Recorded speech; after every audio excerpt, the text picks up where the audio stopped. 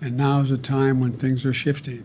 We're going to there's going to be a new world order out there, and we've got to lead it. And we've got to unite the rest of the free world in doing it.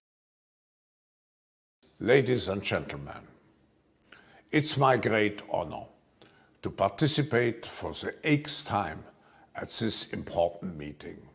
The damage done to our economies and our societies by COVID 19, it also has to confront the repercussions of a dangerous clash between major global powers. History is truly at a turning point. We do not yet know the full extent and the systemic and structural changes which will happen. However, we do know that global energy systems, food systems, and supply chains will be deeply affected.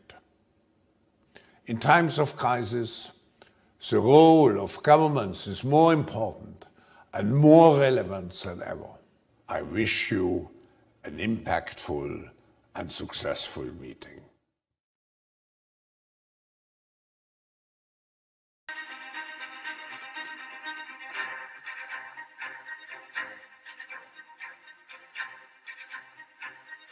Peace and stability are critical for continued economic progress and to secure a brighter future for generations to come. We may have disagreements, but resolving them in a battlefield is not the right way to do it. We have not lost our focus even today with all what is going on. It's tough, it's rough, but we can never lose our sight for our future. Swiftly when the pandemic hit, and I promise you, we are there for our members who need us now. The old traditional financial system that we've had is kind of broken. Well, we already know the name of the new system of accounting. It's called blockchain. And the new system of money is digital money. And let's be totally engaged. Waiting is bad for the planet because technology is growing like this, right? Exponential. But we're growing like this. These days are the days and years of opportunities. Let's grasp this. Uh, I remember talking to an Australian diplomat at one point about this break between the US and China and said, you know, both sides are going to say, whose team are you on? Mm. And he said, our job is to make sure the question never arises. But the question has arisen. And so I think we have to go deeper. And it's not about the US versus China. It's about what underpins a world order is always the financial system. What underpins a world order is always the financial system.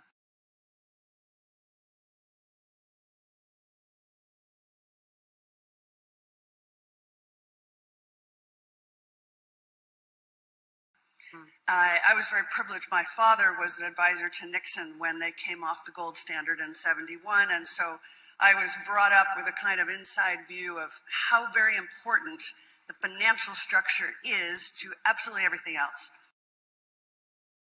Of how very important the financial structure is to absolutely everything else.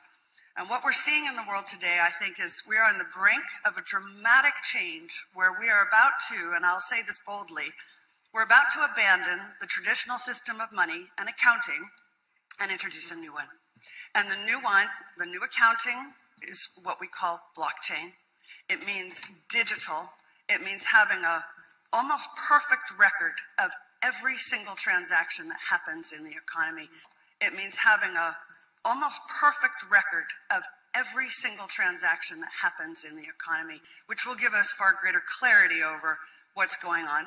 Uh, but also, this new money will be sovereign in nature. Most people think that digital money is crypto and private, but uh, what I see are superpowers introducing digital currency. The Chinese were the first the US is on the brink, I think, of moving in the same direction. The Europeans have committed to that as well. And the question is will that new system of digital money and digital accounting accommodate the competing needs of the citizens of all these locations so that every human being has a chance to have a better life? because that's the only measure of whether a world order really serves.